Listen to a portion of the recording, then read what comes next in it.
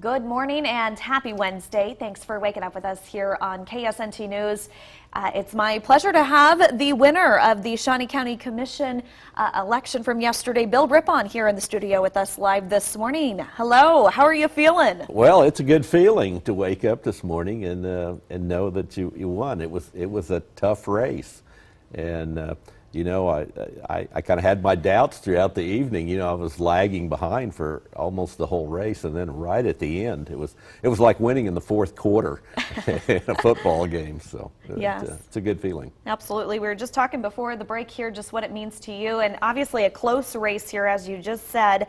Uh, but this means a lot, I know, to you, and, and you feel so honored. Yeah, it, it's a humbling feeling uh, to know that all those people voted for you, and there was people that, that helped support you along the way uh, financially, and, and a lot of good volunteers. I had a great, great group that helped me out the best, and uh, so you know my hats off to those people. Now, you know, you have two months to get ready. You'll be taking the position in January, mid January. Uh, what do you have to do to get ready for this? Well, you know, I, I currently work for Shawnee County uh, for Parks and Recreation. So I'm going to have to button up that job and retire.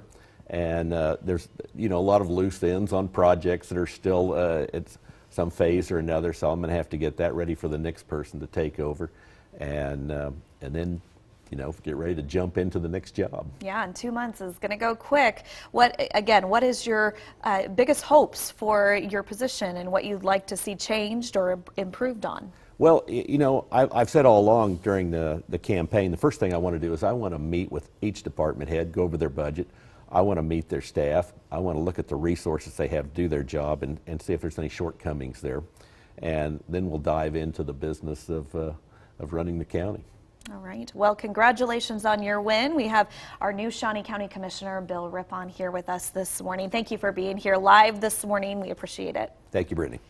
All right, and from there we're going to head on over to hear what our forecast looks like this Wednesday with meteorologist David George.